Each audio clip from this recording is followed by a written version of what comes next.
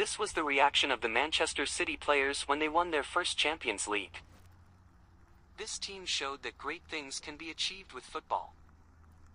This is how Haaland celebrated his first major title in his career. Like Bernardo Silva, who is already bigger.